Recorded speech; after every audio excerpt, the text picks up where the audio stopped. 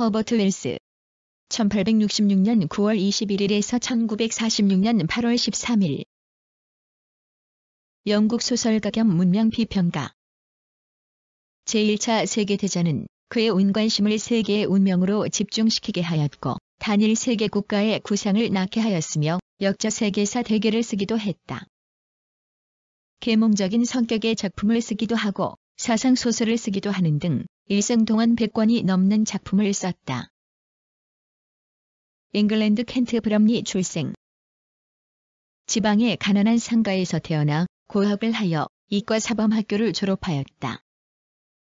교사를 거쳐 문필 생활의 뜻을 두고 일생 동안 100권이 넘는 책을 저술하였다.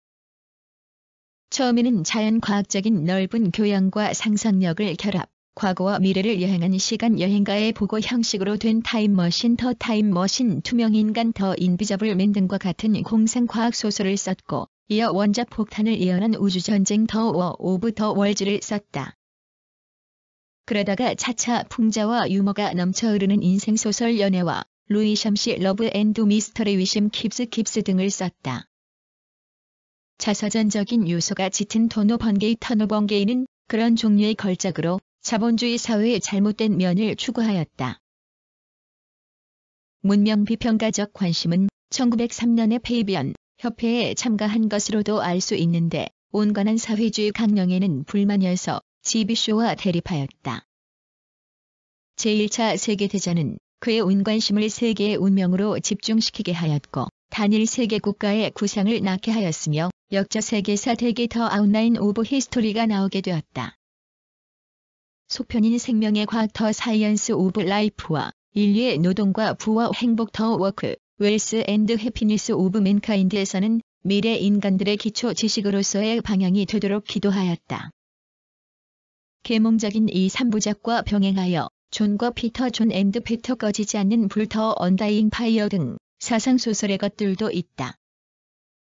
새 형식의 소설이라고 밝힌 윌리엄 클리솔드의 세계 The World of William Clissold는 노경의 주인공이 회상하는 형식을 취한 것으로 작자의 독자적인 현대 비평 의식을 담고 있다.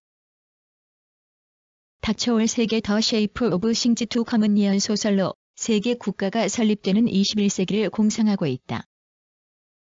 그러나 제2차 세계대전의 참화는 이 위대한 진보주의자의 꿈을 무너뜨리기에 족한 것으로서 사람의 운명 Fate of Homo Sapiens에서 시작되는 문명 비평의 태도는 차차 어두워져서 마지막 저작 정신의 한계 Mind at the End of Its Tether서는 한평생에 걸쳐 계속 이야기해온 낙관주의의 인간관, 세계관을 모두 부정하고 있다.